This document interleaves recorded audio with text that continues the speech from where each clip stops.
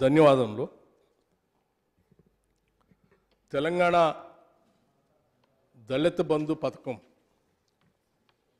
దీనిపైన సభాపక్షం నుంచి అవకాశం ఇచ్చినందుకు మీకు ప్రత్యేకంగా ధన్యవాదాలు.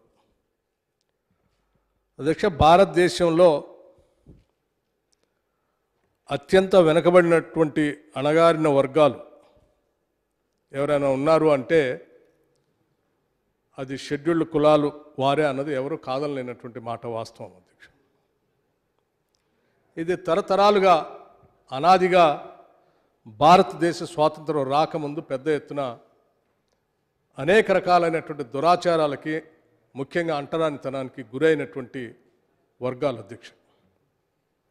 ఇటువంటి వర్గాల వారందరినీ కూడా భారతదేశ ప్రధాన స్రవంతిలో సమానమైనటువంటి హక్కులు కల్పిస్తూ మనుషులంతా ఒక్కటే మనం అందరం కూడా కలిసి బ్రతకాలి.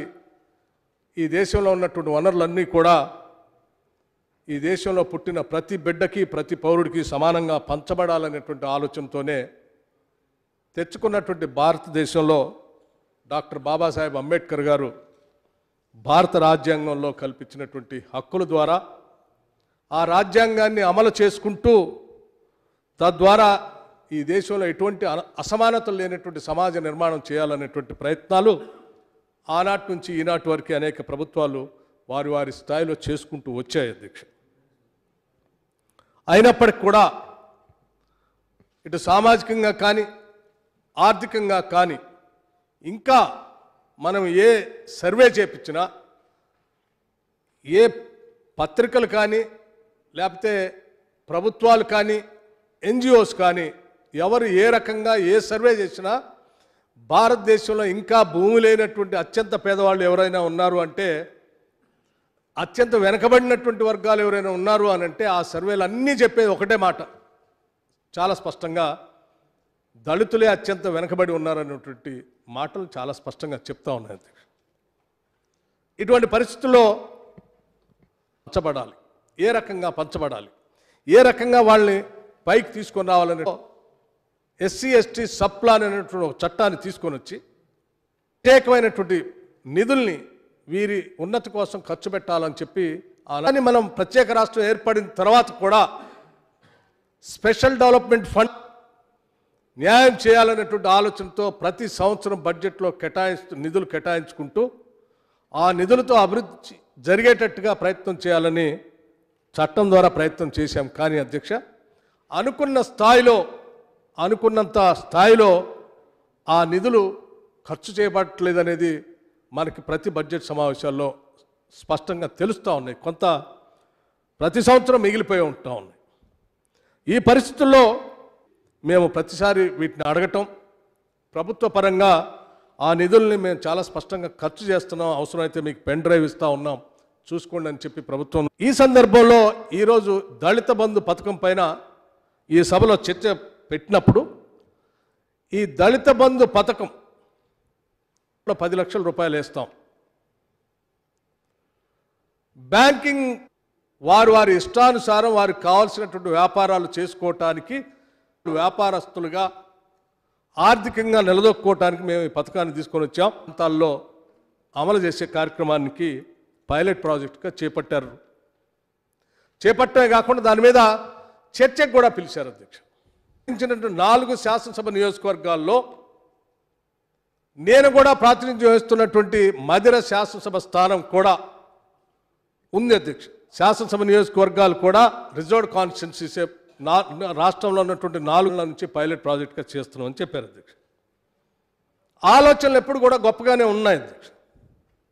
కానీ అమలు చేసేటప్పుడు వచ్చేటువంటి పరిస్థితులు విధంగా అవి అమలు జరుగుతాయా లేదనేదే ఒక ప్రశ్న అధ్యక్ష. ఈ సందర్భంగా నేను ప్రభుత్వానికి ప్రకారం రాష్ట్రంలో ఉన్నటువంటి దాదాపు పదిహేడు లక్షల కుటుంబాలు మీరు ఒక సమావేశంలో మాట్లాడుతున్నటువంటి ప్రసంగాన్ని కూడా నేను విన్నాను అధ్యక్ష. ఈ రా ఈ సంవత్సరం రాష్ట్ర బడ్జెట్లో ఈ కోట్ల రూపాయలు. వెయ్యి కోట్ల రూపాయలు ఈ సంవత్సరం ప్రకటిస్తూ ఎంపవర్మెంట్ కోసం మాత్రం వెయ్యి కోట్ల రూపాయలు స్పెషల్గా ఫండ్ మేము అలాట్ చేస్తున్నామని బడ్జెట్ సమావేశంలో చెప్పారు అధ్యక్ష. మీరు చెప్పినటువంటి ఈ దళిత బంధు పథకం అమలు కోసం కేటాయిస్తున్నటువంటి నిధులు చూస్తూ ఉంటే మరి మీరు చెప్పేదానికి ఈ జరిగేదానికి మరి నిధులు సమకూర్చుకోవటం అనేది సమకూర్చినటువంటి విధానం గురించి కానీ ఎక్కడ స్పష్టత ఇవ్వలేదు అధ్యక్ష. పదిహేడు లక్షల కుటుంబాలు ఉన్నాయి లక్ష డెబ్బై వేల కోట్లు కావాలి కేవలం వెయ్యి కోట్ల రూపాయలు మాత్రమే మేము కేటాయించాం మరి ఇది అమలు అవుతుందా లేదా అనేటువంటి ఆందోళన కూడా చాలా సందర్భాల్లో ఉంది అధ్యక్ష బడ్జెటేతర అంటే బడ్జెట్లో కేటాయించిన దాని గురించి చెప్తా ఉన్నాను. సరే మీరు ఇప్పుడు ఈ సంవత్సరం కోసం ఈ సంవత్సరం కోసం హుజురాబాద్లోనో లేకపోతే నాలుగు మండలాల్లో అమలు చేయటం కోసం ఈ నిధులు మీరు ఏ శాఖల నుంచి ఏమన్నా తీసుకొని వచ్చి మీరు దీనికి ప్రత్యేకంగా అలాట్ చేసి ఇచ్చినప్పటికి కూడా మరి ఈ పదిహేడు లక్షల కుటుంబాలకు అమలు చేయటం కోసం ఈ నిధుల్ని బయట మీరు అలాట్ చేస్తామని చెప్పితే ఎంత అలాట్ చేస్తారు? సంవత్సరానికి ఎంత అలాట్ చేస్తారు? ఆ అలాట్ చేసేటువంటి మీ లెక్కలతో చెప్పినటువంటి మీ మీ మీ ఆ సంఖ్య అసలు ఈ ఈ దళిత బంధు పథకం అమలుకి చిత్తశుద్ధి ఉందా లేదనేటువంటి అంశం అర్థమవుతుంది అధ్యక్ష దాన్ని బట్టి కానీ మనం చర్చించలేం. సో నేను ముఖ్యమంత్రి గారిని మీ ద్వారా నేను కోరుతా ఉన్నాను. మీరు స్పష్టత ఇవ్వండి ఈ సభ ద్వారా. ఈ సభకి రాష్ట్ర ప్రజానికానికి ఎందుకనంటే కొన్ని లక్షల కుటుంబాలు మేము మాకుగా కాంగ్రెస్ పార్టీగా అధ్యక్ష మొదటి నుంచి వాళ్ళందరూ కూడా సమాజంలో ఎదగాలనేటువంటి ఆలోచనతో ఉన్నటువంటి భావజాలంతో ఉన్నటువంటి వాళ్ళు. మా ప్రయత్నాలన్నీ మేము చేశాం. అందులో భాగంగా ఎస్సీ ఎస్టీ సప్లాన్. అలాగే ఇందిరాగాంధీ గారు నైన్టీన్ సెవెంటీస్లో కూడా వాళ్ళు ఇచ్చిన డైరెక్షన్ కూడా అదే. సో ఇప్పుడు ఈ చేసే దళిత బంధు పథకం కూడా అమలు కావాలనే మేము కోరుతా ఉన్నాం. పది లక్షల రూపాయలు ప్రతి కుటుంబానికి రావాలనే కోరుతా ఉన్నాం. పైలట్ ప్రాజెక్ట్గా మీరు చెప్పినటువంటి ఈ నాలుగు మండలాలు లేకపోతే మీరు దత్తత తీసుకున్నటువంటి ఆ గ్రామం లేకపోతే హుజూరాబాద్ కాకుండా రాష్ట్రంలో ఉన్నటువంటి నూట పంతొమ్మిది శాసనసభ నియోజకవర్గాల్లో ఇది అమలు కావాలని కోరుతా ఉన్నాం మేము. ఇలా అమలు కావటానికి కావాల్సిన సంఖ్యను మీరు చెప్పారు ఎన్ని లక్షల కుటుంబాలు ఉన్నాయని దానికి కావాల్సిన బడ్జెట్ని కూడా ఇగో మేము ఇక్కడ నుంచి ఈ బడ్జెట్లో ఇంత కేటాయిస్తూ ఉన్నాం. ఇది మా నిధి మేము చేస్తా ఉన్నాం అంటే ఎస్ అప్పుడు ఈ హామీ పైన మనం లోతుగా చర్చించడానికి ఆ చర్చలోంచి ఏ రకంగా వాళ్ళని అభివృద్ధి చేయటం కోసం మనం ఏ రకమైనటువంటి సూచనలు చేయడానికి అవకాశం ఉందో చెప్పవచ్చు అధ్యక్షుడు అలా కాకుండా కేవలం చేస్తాము మీరు చర్చించండి మా సూచనలు ఏంటంటే నిధి లేకుండా స- ఏమంటారు తెలుగులో చాలామంది చెప్తున్నారు అన్ని సమస్యలకి పరిష్కారం ధనం మూలం విధం చెప్తారు హా? అన్ని అన్ని సమస్యల పరిష్కారం డబ్బే. ఆ డబ్బు అనేది మీరు ఆ నిధి ఆ బడ్జెట్ అనేది కేటాయించకుండా ఇదంతా మనం చేసేస్తాం. పది లక్షలు వాళ్ళ అకౌంట్లో పడతాయి. వాళ్ళు వ్యాపారాలు చేసుకుంటారు ఎదుగుతారు అని అంటే అది కొంత గతంలో ఇచ్చినటువంటి హామీలానే ఈ హామీ కూడా మిగిలిపోద్ది అనేటువంటి భావం ఆలోచన ఉన్నది అధ్యక్ష. అట్లాగే అధ్యక్ష నేనేం వినండి ఇది మనం లోతుగా చర్చించాల్సినటువంటి అంశం ఇది. అట్లాగే అధ్యక్ష భూమి అనేది ప్రధానమైనటువంటి సమస్య. ఆ భూమితోనే కొంత ఆత్మగౌరవం అనేది ప్రతి వ్యక్తికి కలిగేటువంటి అంశం పరిగణలో తీసుకునే గతంలో భూ సంస్కరణలు ప్రవేశపెట్టినప్పుడు ఈ రాష్ట్రంలో శాసనసభ్యుడు చైర్మన్గా ఉంటూ అక్కడ ఉన్నటువంటి భూములపైన సమావేశాలు పెట్టి భూమి లేని నిరుపేద ప్రజలకి ఆ భూ పంపిణీ చేసి వాళ్ళకి కావాల్సిన విధంగా ఆ భూమి డెవలప్మెంట్ కోసం సోషల్ వెల్ఫేర్ డిపార్ట్మెంట్ నుంచి మళ్ళీ అనుసంధానం చేసి దానికి కావాల్సిన ఇరిగేషనో లేకపోతే కరెంటో అన్నీ ఇప్పించి వాళ్ళు ఎదగటానికి అవకాశాలు కల్పించేవాళ్ళం కానీ ఏడు సంవత్సరాల నుంచి ఈ భూ పంపిణీ జరగట్లేదు అసైన్మెంట్ కమిటీస్ జరగట్లేదు. ఇప్పుడు నేను మీ డిపార్ట్మెంట్ నుంచి మళ్ళీ అనుసంధానం చేసి దానికి కావాల్సిన ఇరిగేషనో లేకపోతే కరెంటో అన్నీ ఇప్పించి వాళ్ళు ఎదగటానికి అవకాశాలు కల్పించేవాళ్ళం కానీ ఏడు సంవత్సరాల నుంచి ఈ భూ పంపిణీ జరగట్లేదు అసైన్మెంట్ కమిటీస్ మీట్ సమావేశాలు కూడా జరగట్లేదు. ఇప్పుడు నేను మీరు బహుశా రెవెన్యూ రికార్డ్స్ అప్డేషన్ కార్యక్రమాన్ని పెద్ద ఎత్తున చేపట్టారని సభలో చాలా సందర్భాల్లో మనం చర్చించుకున్నాం. రాష్ట్ర వ్యాప్తంగా రెవెన్యూ రికార్డ్స్ అప్డేషన్ జరిగినటువంటి సందర్భంలో ఈ రాష్ట్రంలో ఉన్నటువంటి మిగులు భూమి ఎంత? ప్రభుత్వ భూమి ఎంత? ఇటువంటి ఇత్యాది లెక్కలన్నీ కూడా మీకు సమాచారం వచ్చి ఉండి ఉంటుంది సో ఈ దళిత బంధు పథకాన్ని అమలు చేసేటువంటి ప్రక్రియలో భాగంగా మన రాష్ట్రం పెద్ద ఎత్తున వ్యవసాయ ఆధారితమైనటువంటి రాష్ట్రమే కాబట్టి చేసేటువంటి వ్యాపారాల్లో చాలా ఆయా మండలాల్లో గ్రామాల్లో కమర్షియల్ యాక్టివిటీ చేయటానికి ఆగ్రోబేస్డ్ ఇండస్ట్రీస్ పెద్ద ఎత్తున ఉపయోగపడతాయి కాబట్టి దానికి ఉపయోగపడే విధంగా ఈ రాష్ట్రంలో ఉన్నటువంటి భూములు మిగులు భూములు ఎంత ఉన్నాయో లెక్కలు తీసి ఆ భూముల్ని పంచి తద్వారా వాటి ద్వారా ఆగ్రో బేస్డ్ ఇండస్ట్రీస్ పెట్టడానికి ఉపయోగపడేటట్టుగా ఒక్కసారి ముఖ్యమంత్రి గారు ఈ సభలో తప్పనిసరిగా దానిపైన కూడా ఈ చెప్పితే దానివల్ల ఉపయోగం ఉంటుందని నేను మీ ద్వారా వారికి విజ్ఞప్తి చేస్తా ఉన్నాను అధ్యక్ష. అట్లాగే అధ్యక్ష ఈ రాష్ట్రంలో గతంలో ఒక పెద్ద వారికి కూడా తెలుసు శాసనసభ్యులుగా మాకంటే సీనియరు వారు శాసనసభ్యులుగా రాష్ట్రంలో ఉన్నటువంటి పేదవాళ్ళందరికీ ఇళ్ళు లేనటువంటి వాళ్ళందరికీ కూడా ల్యాండ్ ఎక్విజిషన్ చేసి ఇంటికి కావాల్సినటువంటి ప్లాట్లు ప్లాటింగ్ చేసి వాళ్ళందరికీ ఇల్లు కట్టుకోవడానికి అవకాశం ఇచ్చేవాళ్ళు. ఏడు సంవత్సరాలుగా ఇటువంటి కార్యక్రమం ఆగిపోయింది అధ్యక్షుడు. మనమంతా దళిత బంధు అనేటువంటి స్కీమ్ గురించి మాట్లాడుకుంటున్నాం కాబట్టి ఇవన్నీ కూడా ఉపయోగపడేవి. తప్పనిసరిగా ఆ రకమైనటువంటి ఆలోచన కూడా ఇళ్ళు లేనటువంటి వాళ్ళందరికీ ప్రభుత్వం ప్రకటించినటువంటి డబుల్ బెడ్రూమ్ ఇళ్ళు హౌస్ సైట్స్ మనం ఏమైనా తయారు చేసుకొని శాచురేషన్ పద్ధతిలో ఆ డబుల్ బెడ్రూమ్ ఇళ్ళు కట్టించే కార్యక్రమాన్ని కూడా చేపడితే బాగుంటుంది అనేది నేను మీ ద్వారా రాష్ట్ర ప్రభుత్వానికి విజ్ఞప్తి చేస్తా ఉన్నాను అధ్యక్ష. వీటన్నిటితో పాటు రాష్ట్రంలో ఉన్నటువంటి కొన్ని ఎంప్లాయ్మెంట్ సంబంధించినటువంటి అంశాలు కూడా మీ మీ దృష్టి ప్రభుత్వ దృష్టి తీసుకురాదలుచుకున్నాను. రాష్ట్రంలో అధ్యక్ష ఉదాహరణకి మెడికల్ అండ్ హెల్త్ డిపార్ట్మెంట్ సంబంధించి చాలామంది సీనియర్ డాక్టర్లు ఎస్సీ ఎస్టీలు సంబంధించినటువంటి వాళ్ళు. చాలామంది డాక్టర్లు సీనియారిటీగా ఉంటే కూడా వాళ్ళకి ప్రమోషన్లు ఇవ్వకుండా కావలసినటువంటి స్థానాలకి వాళ్ళు పోయేటువంటి అర్హత ఉన్నప్పటికి కూడా జనరల్ రిజర్వేషన్ కాదు జనరల్ కూడా సీనియారిటీలో వాళ్ళు ఇంపార్టెంట్ పొజిషన్స్లో వెళ్ళటానికి అవకాశం ఉన్నప్పటికి కూడా బట్టి గారు ఒక్క నిమిషం సార్.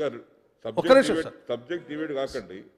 పోవటానికి అవకాశం ఉన్నప్పటికి కూడా ఆ ప్రమోషన్స్ ఇవ్వకుండా వాళ్ళని తొక్కి పెడుతూ మిగతా వాళ్ళకి ప్రమోషన్స్ ఇచ్చేటువంటి కార్యక్రమం రాష్ట్రంలో జరుగుతూ ఉంది. బహుశా ఇది బహుశా ఒక్క నిమిషం ఉండండి సార్. సార్ ఇవన్నీ కూడా బట్టి బట్టి గారు బట్టి గారు మీరు దళిత బంధు పైన సూచ దళిత బంధు స్కీమ్ పైన సూచనల కోసం ఇది సబ్జెక్టు. ఇక మొత్తం కలేసిపోయి మాట్లాడుతుంటే ఎట్లండి? దాని మీరు వేరే పాములు రండి. This only regarding Dalit Bandhu scheme. You kindly speak on Dalit Bandhu. Please గౌరవ సభాపతి గారు మీకు నమస్కారం. నేను మాట్లాడేది దళిత బంధు దళిత బంధు ద్వారా వచ్చేటువంటి ఆత్మగౌరవం గురించే. మాట్లాడే ప్రతి సందర్భంలో కూడా మీరు ఇది నాకు కూడా మంచిగా లేదు సార్. నేను మాట్లాడేది ప్రభుత్వ దృష్టికి తీసుకొని వస్తే దళిత బంధు ద్వారా ఈ ఈ అవకాశం ద్వారా అనేక సమస్యలు ఉంటే అవి తీసుకొని వస్తే కనీసం ప్రభుత్వం స్పందించి న్యాయం జరుగుతున్న ఆశతో ఈ శాసనసభలో మాట్లాడుతాను. దయచేసి కొంత సమయం ఇవ్వాల్సిందిగా కోరుతాను మీరు దళిత బంధు పైన మాట్లాడుతున్న ఏమంటలేను కదా? సార్ నేను మీతో ఆర్గ్యూ చేయలేను సార్ నేను. చేయకూడదు కూడా సార్. ఆర్గ్యుమెంట్ అవసరం లేదు బట్టి గారు. సార్, నేను- తమరు కూడా సార్ నేనేమంటున్నా అంటే సార్ నేనేమంటున్నా అంటే ఈ దళిత బంధు అనేటువంటి ప్రధానమైన ఉద్దేశం ఏంటంటే ఈ రాష్ట్రంలో ఉన్నటువంటి దళితులందరూ కూడా బాగా ఎదగాలని ఆత్మగౌరవంతో బతకాలని. ఆర్థికంగా నిలదొక్కోవాలి సామాజికంగా కూడా నిలదొక్కోవాలని ఇదే ప్రధాన ఉద్దేశం అది. సో నేను ఆ ఉద్దేశం చుట్టూ మాట్లాడుతూ ఉన్నాను సో దాంట్లో భాగంగానే ఆ- శాఖ గురించి చెప్పాను. దయచేసి ప్రభుత్వం పరిశీలన చేస్తుందని నేను అనుకుంటున్నాను అధ్యక్ష. ఈ దళిత బంధు పథకం అమలు చేసే ప్రక్రియలో భాగంగా సరే గతంలో అనేక పథకాలు వచ్చినప్పుడు వాటిని రాజకీయాలకు మాత్రమే వాడుకునేటువంటి వాడు. సరే ఇది ఒక ఈ సమాజంలో ఉన్నటువంటి అత్యంత వెనుకబడినటువంటి ప్రజానికాన్ని ఉన్నత స్థానానికి తీసుకొని పోవటం కోసం వ్యాపారాల్లో అభివృద్ధి చెందడం కోసం ప్రయత్నం చేస్తున్నాం అని చెప్తున్నటువంటి స్కీమ్ కాబట్టి దీంట్లో ఎక్కడా రాజకీయాలకి తావు లేకుండా ఆ గ్రామాల్లో వేసేటువంటి కమిటీలు కానీ మండలాల్లో వేసేటువంటి కమిటీలు కానీ రాష్ట్రంలో వేసేటువంటి కమిటీ కమిటీలు కానీ అమలు చేసేటువంటి ప్రక్రియలో కానీ రాజకీయాలకు తావు లేకుండా మీరు స్పష్టమైనటువంటి ఒక నిర్ణయం తీసుకొని పారదర్శకంగా దీన్ని అమలు చేయడం కోసం ప్రయత్నం చేయాలని చెప్పి కూడా నేను మీ ద్వారా ముఖ్యమంత్రి గారికి విజ్ఞప్తి చేస్తూ ఉన్నాను. మనం పైలట్ ప్రాజెక్ట్గా చేసేటువంటి మండలాల్లో సరే నేను వారి దృష్టికి తీసుకొని రాదలుచుకున్నాను. మిగతా మిగతా సమయంలో అవకాశం మాకు ఉండదు కాబట్టి సభ ద్వారా వారి దృష్టికి తీసుకొని రాదలుచుకున్నాం. ఆయా మండలాల్లో ఆయా శాసనసభ్యులతో పాటు అవసరమైతే ఆ ప్రాంతాల్లో ఉన్నటువంటి మిగతా రాజకీయ పార్టీలు వాళ్ళ ప్రాతినిధ్యం ఉన్నా లేకపోయినా పర్వాలేదు. పొలిటికల్లీ రికగ్నైజ్డ్ పొలిటికల్ పార్టీస్ ఏమైనా ఉంటే అంటే ఎన్నికల కమిషన్ ద్వారా రికగ్నైజ్డ్ పొలిటికల్ పార్టీస్ ఏమైనా ఉంటే వాళ్ళను కూడా సభ్యులుగా చేర్చి వాళ్ళ సలహాలు కూడా తీసుకొని అమలు చేయ చేసే కార్యక్రమం లాంటిది ఏమైనా చేస్తే ఎటువంటి రాజకీయాలకు తావు లేకుండా ట్రాన్స్పరెంట్గా చేసినట్టుగా ఉంటుంది. కాబట్టి దీన్ని కూడా పరిశీలన చేయమని నేను విజ్ఞప్తి చేస్తా ఉన్నాను. ప్రధానంగా చాలా చోట్ల చాలా సందర్భాల్లో దళిత బంధు గురించి మాట్లాడుతూ మేము ఇది చేయబోతా ఉన్నాం. ప్రతిపక్షాలు ఏదో కావాలని అల్లరి చేస్తూ ఉన్నాయి అని అంటున్నారు. లేదండి. లేదండి. మేము చాలా స్పష్టంగా చెప్తా ఉన్నాం. దళిత బంధుని అమలు చేయండి. రాష్ట్ర వ్యాప్తంగా అమలు చేయండి. అన్ని శాసనసభ నియోజకవర్గాల్లో అమలు చేయండి. సాధ్యమైనంత మేరకు వీళ్ళతో పాటు ఇంకా వీలుంటే బిలో పావర్టీ లైన్లో ఆర్థికంగా బాగా వెనకబడి ఉన్నటువంటి ఇతర వర్గాలు ముస్లిం మైనార్టీస్ కావచ్చు బ్యాక్వర్డ్ క్లాసెస్ కావచ్చు ఎకనామికల్లీ బ్యాక్వర్డ్ క్లాసెస్ కావచ్చు బిలో పావర్టీ లైన్లో బాగా అట్టడుగుని ఎవరైనా ఉంటే వాళ్ళని కూడా అటువంటి వాళ్ళకు కూడా ఈ దళిత బంధు పథకం లాంటిది అమలు చేయడానికి అవకాశం ఉంటే అమలు చేయండి మేము కాంగ్రెస్ పార్టీ పక్షాన మీ ద్వారా రాష్ట్ర ప్రభుత్వానికి విజ్ఞప్తి చేస్తూ ఉన్నాం. ఇలా చేసే ముందు మేము బయటికి పోయి మాట్లాడి చాలామందితో మాట్లాడినప్పుడు వాళ్ళు చెప్పింది ఒకటే. నిధులు లేకుండా ఒట్టిగా చెప్తున్నారు కాబట్టి స్పష్టత ఇప్పించే కార్యక్రమం చేయండి అని చెప్పారు. నేను పదే పదే వారికి చెప్పాను. ఆ స్పష్టత వస్తుందనే నేను ఆశిస్తా ఉన్నాను అధ్యక్ష. అంతిమంగా ఈ దళిత బంధు పథకం నా శాసనసభ నియోజకవర్గంలో ఒక చింతకాణి మండలంలో కూడా పైలట్ ప్రాజెక్టుగా తీసుకున్నాను అధ్యక్ష.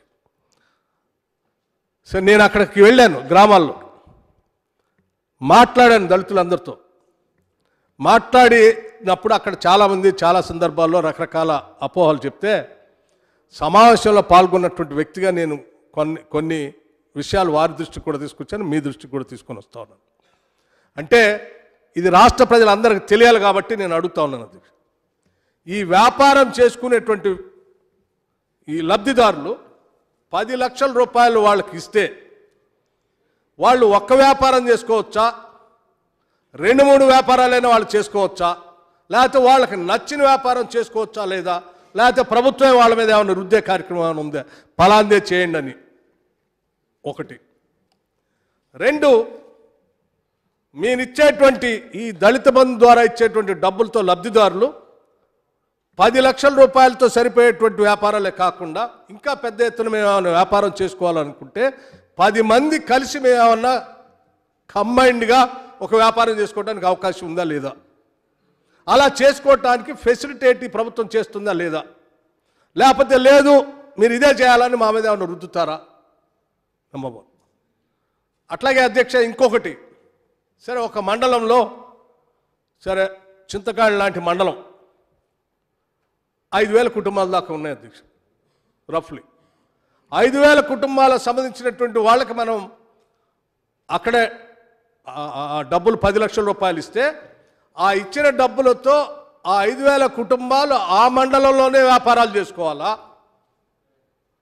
లేకపోతే వాళ్ళు నచ్చిన ప్రాంతంలో వ్యాపారాలు చేసుకోవడానికి అవకాశం ఉందా లేదా నమ్మకం? మండలంలోనా జిల్లా హెడ్ క్వార్టర్లోనా లేకపోతే రాష్ట్ర హెడ్ క్వార్టర్లోనైనా చేసుకోవడానికి అవకాశం ఉందా లేదా అని. దానిపైన కూడా ముఖ్యమంత్రి గారు స్పష్టత ఇవ్వాలని నేను కోరుతా ఉన్నాను. అట్లాగే ఈ పది లక్షల రూపాయలు ఇచ్చేటప్పుడు మేము గతంలో చాలా సందర్భంలో చూశాను అధ్యక్ష. అక్కడ ఉన్నటువంటి వ్యాపారాలు కాకుండా ఉదాహరణకు హైదరాబాద్ లాంటి నగరంకి వస్తే ఈ హైదరాబాద్ నగరంలో అందుబాటులో ఉన్నటువంటి వ్యాపారాలు కూడా అక్కడి నుంచి ఇక్కడికి వచ్చి చేసుకోవచ్చా లేదనేది. ఒకవేళ ఈ రకంగా చేసుకోవటానికి కావాల్సిన సపోర్ట్ సిస్టమ్ ఐకేపీలో గతంలో రాష్ట్ర ప్రభుత్వం ద్వారా ఒక సపోర్ట్ సిస్టమ్ అనేది ఇంత గతంలో పెట్టేవాడు అంటే మహిళలు సెల్ఫ్ హెల్ప్ గ్రూప్స్కి రుణాలు బ్యాంకుల నుంచి తీసుకుంటే ఆ తీసుకున్నటువంటి రుణాలని వాళ్ళు సక్రమంగా వాడుకొని వ్యాపారం చేసుకోవడానికి పనికొచ్చే విధంగా ప్రభుత్వ యంత్రాంగం ఆ గ్రామంలో నుంచి మొదలు పెడితే రాష్ట్ర స్థాయి వరకు అధికారులు పెట్టి వాళ్ళకి ఎప్పటికప్పుడు గైడ్ చేస్తూ ఉండేటువంటి ఒక సపోర్ట్ సిస్టమ్ అని ఉండేది. అటువంటి సపోర్ట్ సిస్టాన్ని రాష్ట్ర ప్రభుత్వం ఏమన్నా పెట్టి ఈ దళితుల దళిత బంధు స్కీమ్ ద్వారా లబ్ధి పొందేటువంటి వాళ్ళకి ఉపయోగపడేటట్టుగా మీరు ఏమైనా చేయబోతున్నారా? లేకపోతే కేవలం వాళ్ళ వరకు ఇచ్చేసి మాకేం సంబంధం లేదన్నట్టుగా ఉంటే అలా వదిలేస్తే దానివల్ల వాళ్ళకి వ్యాపారాలకు సంబంధించినటువంటి నాలెడ్జ్ ఉండదు కాబట్టి పెద్దగా ఉపయోగం ఉండదు. దీనిపైన ఆలోచన చేయండి అని చెప్పారు. దాన్ని నేను ముఖ్యమంత్రి గారి దృష్టి తీసుకొని వస్తూ ఉన్నాను. అధ్యక్ష అలాగే మనం ఐడెంటిఫై చేసినటువంటి బిజినెస్తో పాటు వాళ్ళకి స్కిల్ డెవలప్మెంట్ ఇచ్చే విధంగా ఉన్న రాష్ట్ర ప్రభుత్వం ఆలోచన చేసి ట్రైనింగ్ ఇచ్చి తద్వారా వ్యాపారం చేయటం కోసం ఉపయోగపడేట్టుగా చేస్తారా లేదా? అలా చేయటానికి ఏదైనా వ్యవస్థను ఏర్పాటు చేస్తున్నారో లేదనేటువంటిది కూడా దయచేసి మీ ద్వారా చెప్పని చెప్తా ఉన్నాను అధ్యక్ష. ఇంకో ప్రధానమైనటువంటి సమస్య ఎక్కడొచ్చిందంటే అధ్యక్ష పెళ్ళైనటువంటి పెళ్ళి కుటుంబం అనే దాన్ని ఒక యూనిట్గా తీసుకుంటున్నారు. నేను చదివిన దాన్ని బట్టి. సో ఒక ఫ్యామిలీనే యూనిట్గా తీసుకున్నప్పుడు ఆ ఫ్యామిలీలో కొత్తగా పెళ్ళైనటువంటి వాళ్ళు చాలా కుటుంబాలు ఉన్నాయి ఆ కుటుంబాలు రేషన్ కార్డు కోసం అప్లై చేసుకుని ఉంటే అవి పెండింగ్ ఉన్నాయి రాష్ట్ర ప్రభుత్వం దగ్గర. రేషన్ కార్డు లేదు కాబట్టి వాళ్ళ కుటుంబంగా పరిగణించరా? లేకపోతే పెళ్ళయింది వాళ్ళకి పెళ్ళి సర్టిఫికేట్ కూడా ఉంది కళ్యాణ లక్ష్మి ద్వారా నిధులు కూడా వచ్చాయి కాబట్టి వాళ్ళకు కూడా మీరు ఒక సపరేట్ ఫ్యామిలీ ఎంటిటీగా పరిగణలో తీసుకొని వాళ్ళకు కూడా దళిత బంధు స్కీమ్లో ఇంక్లూడ్ చేస్తారా లేదా? ఇత్యాది అనేక రకాలైనటువంటి సమస్యలు నా దృష్టికి వచ్చే పైలట్ ప్రాజెక్ట్ సంబంధించి చింతకాని మండలంలో మాట్లాడేటప్పుడు వీటన్నిటిపైన కూడా సవివరంగా ముఖ్యమంత్రి గారు సభ ద్వారా తెలియజేస్తారని నేను లేవనెత్తినటువంటి అంశాలకి అవకాశం కల్పిస్తారని నేను ఆశిస్తూ తప్పనిసరిగా నేను ఈ వచ్చే బడ్జెట్లో దీని సరిపోయేటువంటి నిధులు వాళ్ళు ఈ- వారు కేటాయిస్తారని ఆ కేటాయింపులు సంబంధించి కూడా స్పష్టత ఇస్తారని నేను ఆశిస్తూ ముగిస్తా ఉన్నాను అధ్యక్ష. థ్యాంక్ యూ గౌరవ సభ్యులు ఆనంద్ గారు.